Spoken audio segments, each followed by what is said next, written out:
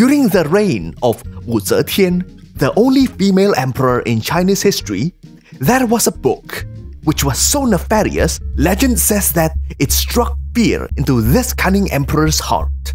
Even the celebrated Di Renjie of the Judge Dee Mysteries fame would break into cold sweat reading it. In this episode, I will tell you the story of Lai Junchen, the author of a book called The Classic of Accusation, and how he became one of the greatest enemies the Empress and the Judge had ever faced. Before we look at this dastardly villain, let's look at Wu Zetian and her government.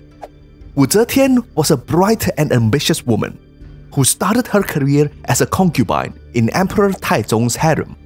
While she did not get much of his attention, she caught the eye of his crown prince. After Taizong's death, she was brought into the crown prince, now Emperor Gaozong's harem, and became one of his favorites. Through her schemes and machinations, she eventually made her own sons emperors and finally went on to depose them to make herself the Emperor of China. It is important to mention that she made herself a Huangdi, an emperor, the ultimate ruler of the land, not a Huanghou, which means the empress consort of an emperor. Throughout Chinese history, there had been plenty of empress dowagers and regents who held onto de facto power over their husbands or child emperors. But she was the only one ambitious enough to make herself an emperor and established her own dynasty, the Zhou dynasty, which lasted for 15 years until her sons revived the Tang dynasty. She was the kind of woman who was too smart to be completely evil. Her ambition was transcendent, and she will use any means to stay in power, be it benevolence or cruelty. She was famous for expanding the scope of the imperial examinations and allowed the poor and those with low social status to take the exams and get the chance to become officials. But really, it was mostly motivated by her desire to create a faction that's loyal to her. She was really good at utilizing people of all sorts. The angel she placed on her shoulder was the shrewd and incorruptible Di Renjie, who would be featured in the Qing Dynasty historical mystery novel, The Celebrated Cases of Judge Dee. And the devils on her other shoulder were the cohorts of Ku Li, who she employed to stamp her opposition. In the history books of every Chinese dynasties, there are almost always officials who were considered to be so cruel and sadistic, they were recorded as Ku Li this evaluation was made during the writing of the history books, of course. While they were alive, they were just sadistic jerks. And if the historians think that they are worth mentioning, then they must have been real special kind of jerks.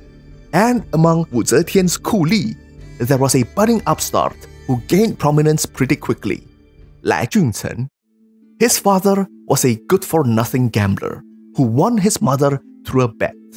And this bad apple did not fall far from the tree. He was a serial tattler who made plenty of false reports. One day, his schemes were discovered and he was punished by the Prince of Dongping.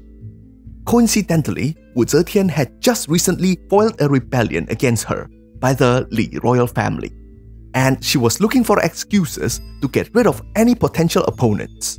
So any informant was encouraged to report any suspicious activities at every opportunity. So Lai Junchen took it. He wrote a false report saying that he actually wanted to present some information regarding the rebellion, but he was suppressed and punished for it. It wasn't known if Wu Zetian actually believed him. Nevertheless, she seized upon this opportunity to get rid of another member of the royal family. Thus, he was rewarded with an official rank and he was appointed as one of her many informants. Besides being devious, he was also a backstabbing social climber. Through his career, he would entrap and torture many other informants he worked with. In one occasion, there was another Ku Li that he was supposed to extract information from, Zhou Xing. But this Zhou was an expert torturer himself, and he would never yield to any of Lai Junchen's methods. So the latter invited him for a meal and pretended to ask him for advice on the absolute best way to torture a really tough prisoner. Zhou Xing told him that the best way was to put the victim in a large pot and light fire around it. As soon as he said that, Lai Junchen ordered a large pot and firewood to be brought into the room, and he told Zhou Xing to get in. Realizing that he was outplayed, Zhou Xing immediately confessed to the false charges. As he rose through the ranks, Lai Junchen gained followers in the hundreds and started to cast his net even wider to catch bigger fish.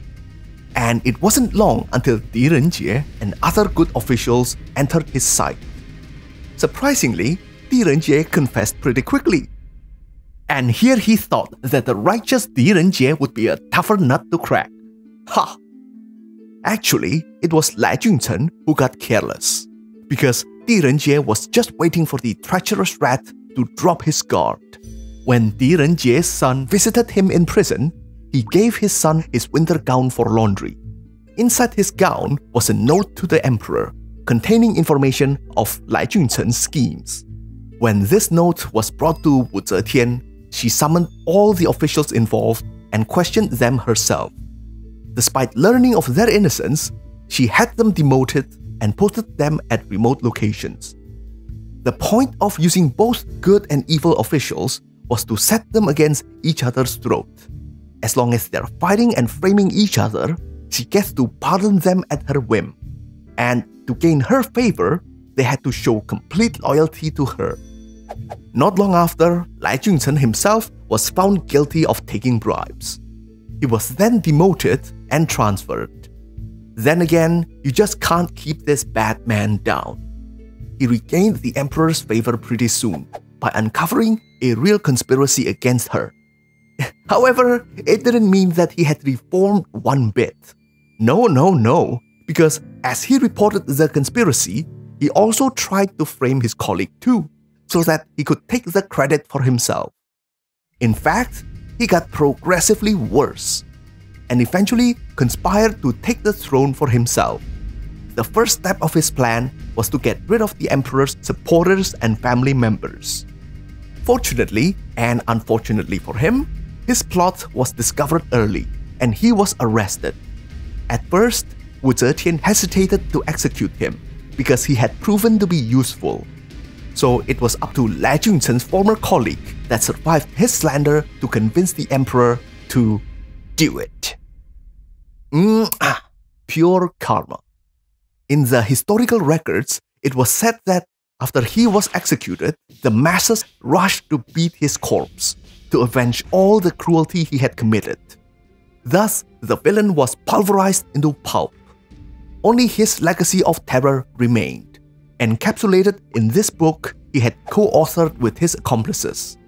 Luo Zijing, Classic of Accusation.